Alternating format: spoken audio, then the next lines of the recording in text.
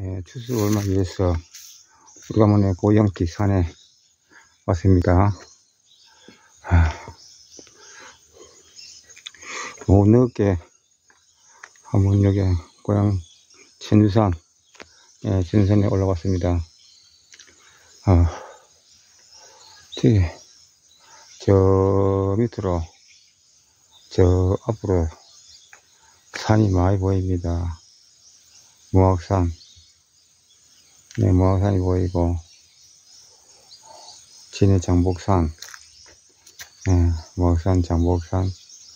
전두산은 바로 옆에 전두 여기 전두산이고. 네, 전두산이고. 네, 숲이 다 여기가 있습니다.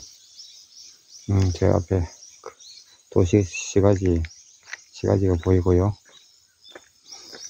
오늘 수천을 돼가지고 진짜 사람이 아무도 없고 조용합니다. 네, 좀 생각해도 아무도 없어요 네. 네.